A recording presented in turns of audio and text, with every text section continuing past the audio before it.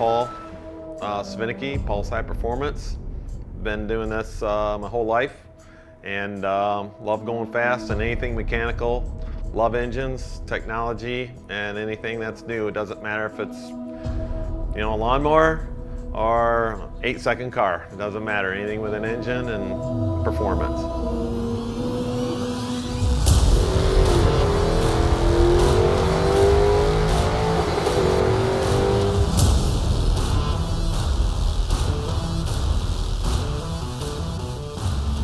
I'd been following the 7.3 program, you know, push rod, big bore, 446 cubic inches, you know, big valves, big ports. I'd seen flow numbers and all that.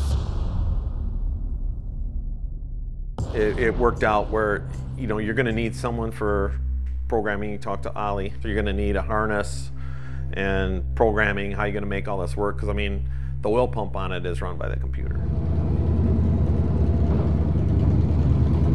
I didn't know Paul when we started this, but I'm very impressed about what I've seen and the commitment and the uh, technical level of the company is very impressive, I find.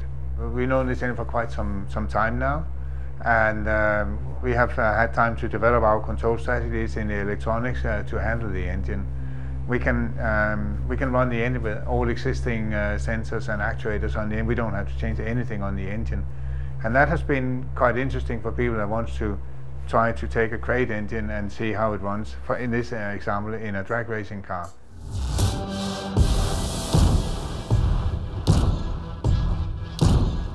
And for us, it was a straightforward uh, uh, job uh, installing the electronics and the ECU in the car.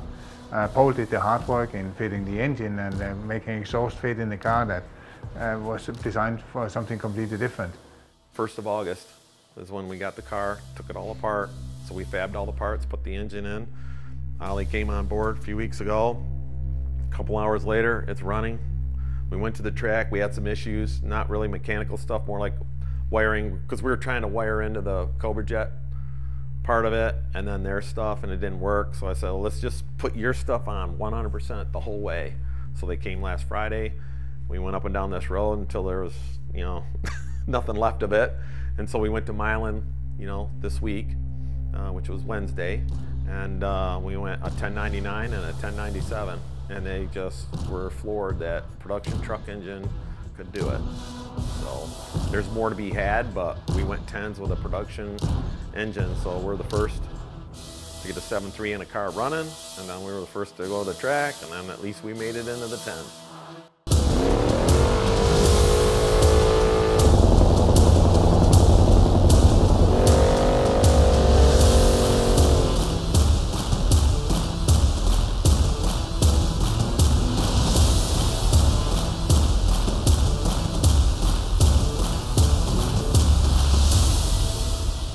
The engine is a crate program, so I think it's going to be as popular or more popular than the 5 liter, which I know a lot of people are going to raise their eyebrows about that, but cubic inches don't lie, torque doesn't lie.